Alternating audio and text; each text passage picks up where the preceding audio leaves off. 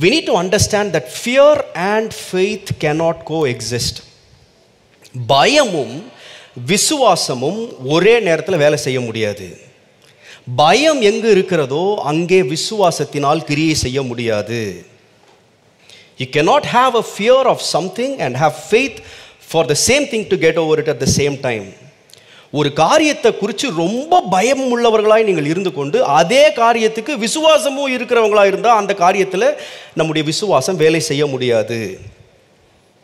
ஒரு சின்ன பையன் ஒரு முறை தன்னுடைய தகப்பன் வந்து ஒரு ஷிப்பில் கேப்டனாக இருந்தார். ஒரு பெரிய கப்பலுடைய மாலுமியாய் அவர் இருந்தார். இவனுக்கு ஒரு எட்டு முதல் ஒன்பது வயசு வரைக்கும் வரும். ஒரு ஒரு முறையும் அப்பாட்ட கேட்டுக்கிட்டே இருப்பான். அப்பா நான் வந்து உங்கள் கூட கப்பலில் வரணும் அப்படின்னு. ஆனால் அப்பா கூப்பிட்டே போகல ஆனால் ஒரு நாள் ரொம்ப தொல்லை தாங்க முடியாமல் பையன் கேட்குறானேன்னு சொல்லிட்டு பையனை கூப்பிட்டு போனாராம். இந்த கப்பலில் போயிட்டு அவங்க மேலே வந்து ஒரு அவங்க இருக்கும் பொழுது திடீரென்று கப்பலில் பயங்கர தீ.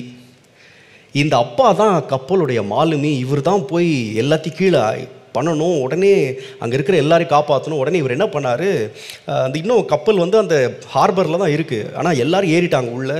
இந்த பையனை பார்த்து அப்பா சொன்னார் நீ இந்த ரூம்லேயே இரு. நான் உன்னை வந்து எப்படியாச்சும் காப்பாற்றிடுவேன் அப்படின்னு சொன்னார்.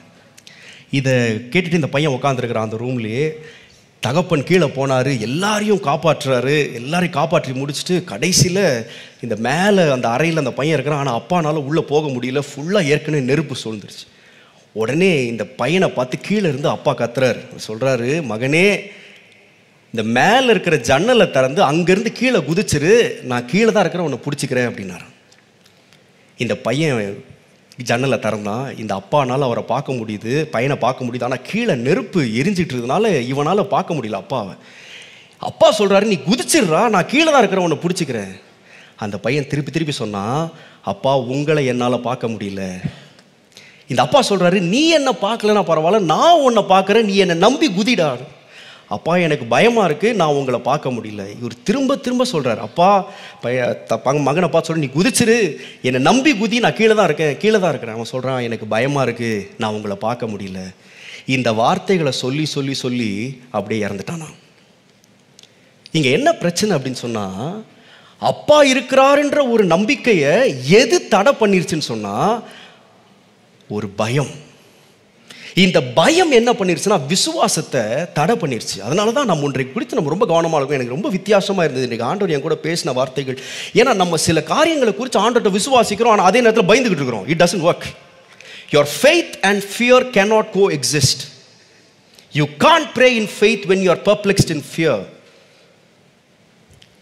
ஒரு சூழ்நிலையை கண்டு பயந்து ஓடிக்கிட்டு நான் விசுவாசிக்கிறேன்னு சொல்ல முடியாது.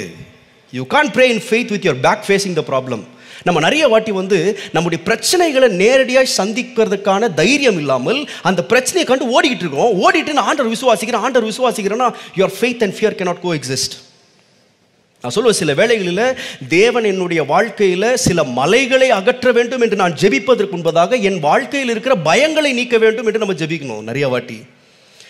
சத்ரு நம்முடைய வாழ்க்கையில் அதிகமாக பயன்படுத்துகிற ஒரு ஆயுதம் என்னவென்றால் நம்மளை ஒரு ஸ்டேட் ஆஃப் ஃபியர்லேயே வச்சிருப்பான். நம்ம ஒரு பயத்திலே வச்சிருப்பான். எதையாவது காரியத்தை குறித்து ஒரு பயத்திலே நம்ம வைத்திருக்கிறான்.